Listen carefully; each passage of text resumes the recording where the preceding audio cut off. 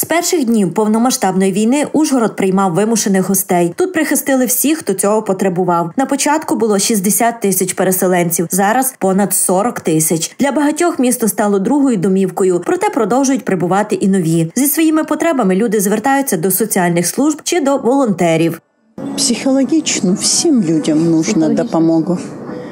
И ждем, не дождемся, когда это закончится. Якусь роботу знайти, щоб не сидіти вдома.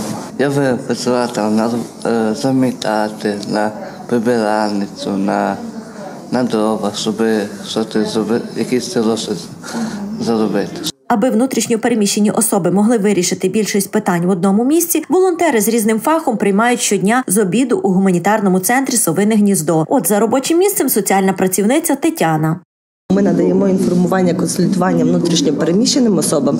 І е, найбільша кількість це е, люди, які щойно із вокзалу приїхали і не знають, де отримати яку допомогу, як зробити довідку ВПО і так далі. Перенаправлення, перенаправлення на громадські організації, благодійні організації, державні установи, які знаходяться в місті Ужгороді або в Закарпатській області. Ми співпрацюємо також із е, УВКБ ООН на рахунок грошових виплат чи іншої допомоги.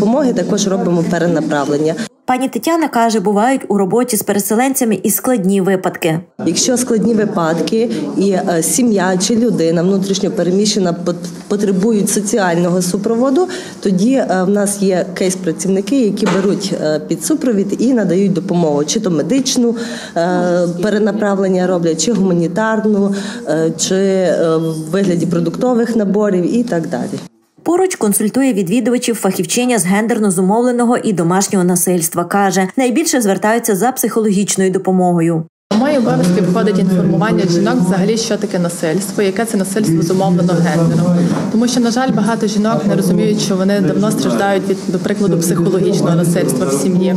Ми інформуємо. У нас є також кейс-менеджер, який бере під супровід жінок, надає великий спектр допомоги, там психологічну допомогу. Робимо перенаправлення до юриста. Можемо багато різних послуг надавати. В принципі. Один із затребуваних запитів від ВПО це допомога у пошуку роботи, адже люди, оговтавшись від шоку, приходять до тями, як налагодять побут, думають, як забезпечити себе матеріально. Працюю кар'єрним радником е, напрямку Livelihood – засоби до існування.